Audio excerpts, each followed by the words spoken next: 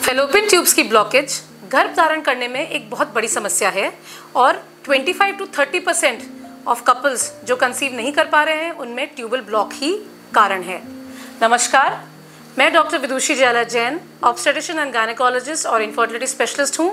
और आज हमारी आईवीएफ सीरीज़ में जो आज का एपिसोड है, वो है फेलोपियन ट्यूब्स ब्लॉकेज की समस्या और उसका निदान। तो अगर हम देखें तो 25 टू 30 परसेंट जो कपल्स हैं, जो कंसीव नहीं कर पा रहे गर्भ धारण नहीं कर पा रहे हैं, उनमें देखा गया है कि जो फेलोपियन ट्यूब्स होती हैं, उनका एक ट्यूब का या दोनों ट्यूब का ब्लॉक होना ही सबसे बड़ा कारण है। ये जो ब्लॉक है ये कई कारणों से होता है। तो अगर हम देखें कि क्या चीज़ें हैं जो हो सकती हैं तो सबसे पहले है इन्फेक्शंस अगर आपको कोई भी इन्फेक्शन है, जैसे कि क्लमाइडिया गनोरिया ट्यूबरक्लोसिस तो ये जाके आपके ब्लड स्ट्रीम से, खून से जाते हुए फेलोपियन ट्यूब में जाके उन्हें ब्लॉक कर सकती है। कई बार हम देखते हैं कि जो लेडी है, वो हिस्ट्री देती है कि पहले कभी बचपन में या कभी उसके बाद उन्हें छाती का ट्यूबरक्लोसिस या खून में ट्यूबरक्लोसिस टीबी होना या गांठें टीबी की होनी अगर ऐसा हुआ है। और ये महिला अगर गर्भधारण नहीं कर पा रही है तो इन्हें फेलोपियन ट्यूब्स का ट्यूबरक्लोसिस हो सकता है। दूसरा कारण जो बहुत कॉमनली देखा गया है वो है इन्फेक्शन विद क्लमाइडिया या गनोरिया ये इन्फेक्शंस के जो लक्षण हैं वो हैं अगर एक महिला आ, हमेशा उनको नीचे योनी में दर्द होना उन्हें पीरियड जो है अनियमित आना पीरियड में बहुत दर्द होना और संभोग के समय दर्द होना और हमेशा ही एक गंदे रिसाव का महसूस होना। अगर ऐसा कोई भी लक्षण है तो इसका मतलब है उन्हें क्रॉनिक पेल्विक इन्फेक्शन या क्रॉनिक इन्फेक्शन हो सकता है, जिसकी वजह से फेलोपियन ट्यूब्स ब्लॉक हो सकती हैं। उसके अलावा एक बहुत बड़ा रीज़न जो आजकल हम देखते हैं कि फेलोपियन ट्यूब्स का ब्लॉक होने का कारण वो है एंडोमेट्रियोसिस ये एक ऐसी बीमारी है जिसमें माहवारी के टाइम पे बहुत ज़्यादा दर्द होता है और कुछ खून की गांठें हमारे अंडेदानी में बन जाती हैं जो फेलोपियन ट्यूब्स को भी चिपका देती हैं जिसके वजह से फेलोपियन ट्यूब्स ब्लॉक हो जाती हैं। तो अगर ये कोई भी कारण है तो ये फेलोपियन ट्यूब्स के ब्लॉकेज का कारण बन सकती हैं। अगर कोई महिला आ, कुछ लक्षण हैं अगर वो उनसे सफ़र कर रही हैं कि उन्हें पता चले कि मुझे क्या इन्फेक्शन या फेलोपियन ट्यूब्स ब्लॉकेज हो सकता है।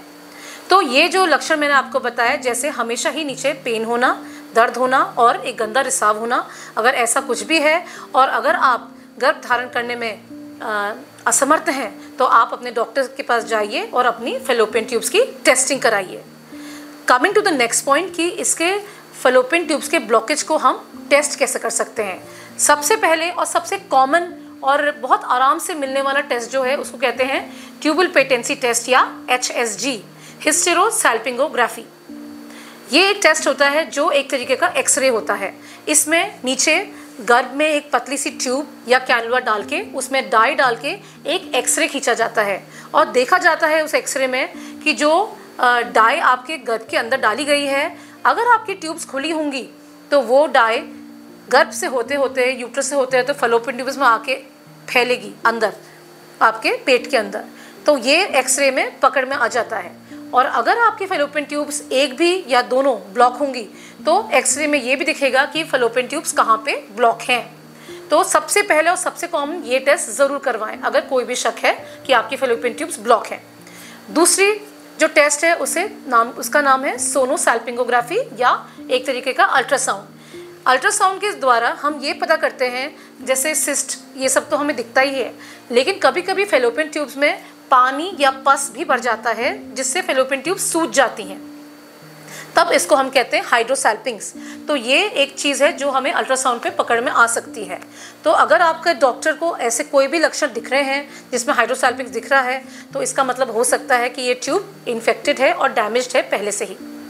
दूसरी चीज़, इसमें एक सोनोसैल्पिंगोग्राफी हम कर सकते हैं मतलब कि नॉर्मल सलाइन को अल्ट्रासाउंड के टाइम पे ही, योनि के अंदर डाल के उसका दोनों ट्यूब से निकलता हुआ रिसाव भी पकड़ा जा सकता है अल्ट्रासाउंड पे। उसके अलावा जो बाकी टेस्ट हैं, उन्हें कहते हैं ब्लड टेस्ट। कुछ ब्लड टेस्ट हैं जो मेनली हम इन्फेक्शंस के लिए करते हैं, जिनके मैंने नाम लिए हैं, जैसे क्लमाइडिया गनोरिया एंड ट्यूबरकुलोसिस तो ये टेस्ट जो हैं, ये ब्लड से या स्किन से भी कर सकते हैं और इन टेस्ट से हमें ये पता चल सकता है, अगर कोई महिला कोई भी क्रॉनिक इन्फेक्शन से ग्रसित है। उसके अलावा एक बहुत ही एडवांस और बहुत ही लाभदायक और मददगार टेस्ट है, उसको कहते हैं लैप्रोस्कोपी एंड हिस्ट्रोस्कोपी अगर कोई भी शक है आपके डॉक्टर को कि आपकी ट्यूब्स ब्लॉक हैं, या आपके एच में आया है कि आपकी एक ट्यूब या दोनों ट्यूब्स ब्लॉक हैं तो आपको आपकी डॉक्टर हिस्ट्रो लैप्रोस्कोपी की सलाह देंगे. लैप्रोस्कोपी सबसे कारगर तब है जब पूरी ट्यूब्स का जो आखिरी का हिस्सा होता है, जिसको फिम्ब्रिया कहते हैं, अगर वो बंद है। अगर फिम्ब्रिया बंद होते हैं तो लैप्रोस्कोपी के द्वारा उसकी रिकन्स्ट्रक्टिव सर्जरी करके उसको खोला जा सकता है। और दूसरा जो जाँच है, उसको कहते हैं हिस्ट्रोस्कोपी हिस्ट्रोस्कोपी में हम अंदर से यूट्रस के अंदर एक दूरबीन डाल के देखते हैं, और स्पेशली उन केसेस में जहाँ पे आपका ट्यूब का जो ब्लॉक है, वो बच्चेदानी से जहाँ वो ट्यूब जुड़ती है, अगर वहाँ वो ब्लॉक है, उसको कहते हैं कॉर्नोल ब्लॉक और ऐसे केसेस में हिस्ट्रोस्कोपी द्वारा रिकैनुलेशन कर सकते हैं। तो ये वो सारे टेस्ट हैं जिससे आपको ट्यूब ब्लॉक हैं या नहीं? और एक है ब्लॉक या दोनों ब्लॉक हैं? और कौन सी एग्जैक्ट जगह पे ब्लॉक है? इसका पूरा ज्ञान मिल सकता है। इसके अलावा जब डायग्नोसिस हो चुका हो कि ट्यूब्स ब्लॉक हैं तो उसके आगे ट्रीटमेंट क्या होना चाहिए?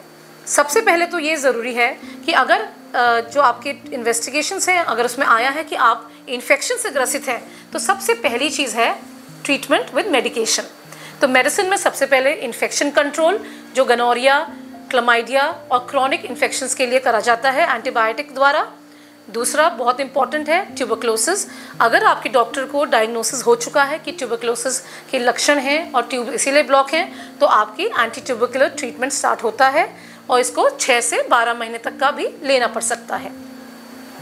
उसके अलावा मेडिकेशन के बाद अगर हो सकता है कि आपकी सिर्फ़ एक ही ट्यूब बंद हो।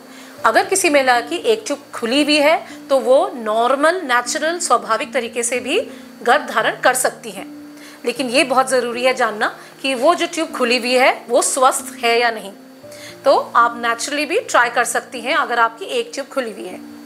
लेकिन वो कपल्स जिनकी दोनों ट्यूब्स बंद हैं, उनके लिए इन मेडिसिन के अलावा कुछ चीज़ें और भी हैं। जैसे पहले हम लोग बहुत हाइड्रोकॉर्टिजोन या स्टीरोइड इंजेक्शंस हम लोग यूट्रस के अंदर डाल के ट्यूब्स को खोलने की कोशिश भी करते थे।